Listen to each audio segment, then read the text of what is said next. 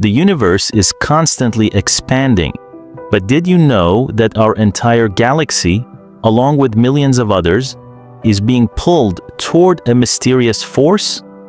This force is known as the Great Attractor, a gravitational anomaly located about 150 to 250 million light-years away from Earth.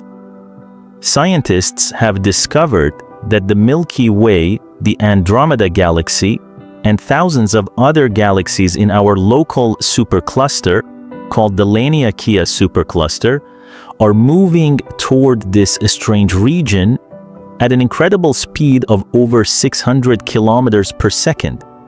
But what exactly is the Great Attractor? That's the mystery.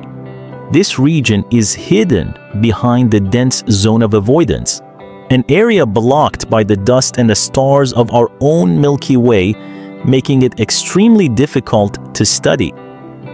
Thanks for watching